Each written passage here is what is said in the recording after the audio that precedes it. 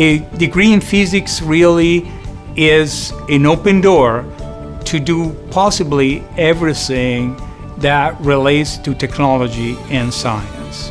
Physics is the passionate pursuit of answers to the big questions. When I took physics, I just felt like this is what I want to do. I was I fell in love with the fact that you can use math to describe real life things and you could feel it, and you could touch it. So I decided to pick up a second major.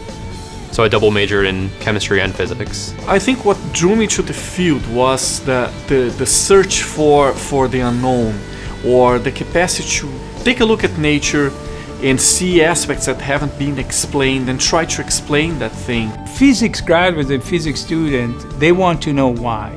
Discover our hands-on collaborative approach to science education. What is happening in today's world, in the uh, scientific world and technology-wise, all these different scientific and engineering fields, they're fusing into each other. We have people from the chemistry department, the pharmacology and toxicology department, the biology department, and even the pharmacy department that conduct physics research experiments in our labs.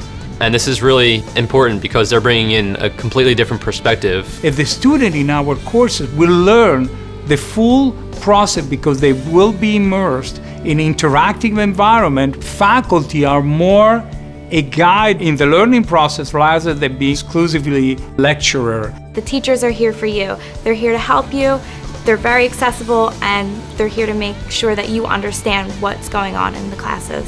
Our physics program gives you the skills to succeed in any career you choose.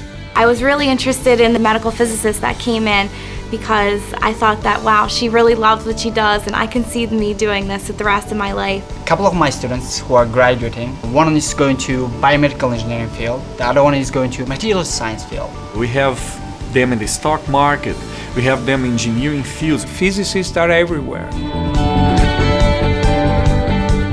What we're doing here is not only build on textbooks, but it's bringing the textbooks to life. Discover your future in physics at University of the Sciences. For more information, visit usciences.edu.